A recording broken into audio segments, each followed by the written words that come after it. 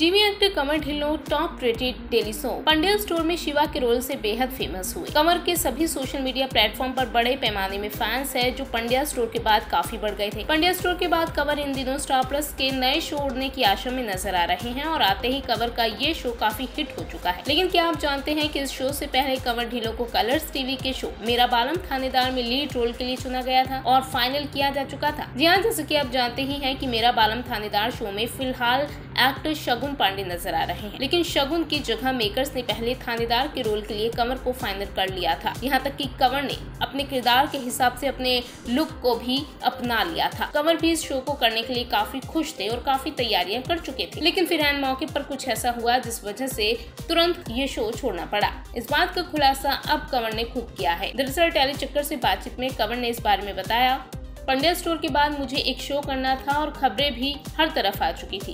Colours पर show. मेरा बालम थानेदार था और मैंने उस किरदार के लिए ट्रांसफॉर्मेशन भी किया था, जहाँ मैंने एक खास मूछे रखी और अपना नया लुक बनाया। लेकिन फिर चैनल की ओर से चीज़ें बदल गई और एक नई टीम लाई गई। टीम मेरे पास पहुँची और मुझे बताया कि कैसे चीज़ें काम नहीं कर रही थी और भूमिका की तैयारी में ढाई साल लग गए और फिर एक एक्टर के रूप में कोई और क्या कर सकता है? मुझे बुरा नहीं लगा, लेकिन दुख था कि पंड्या खत्म हो गया।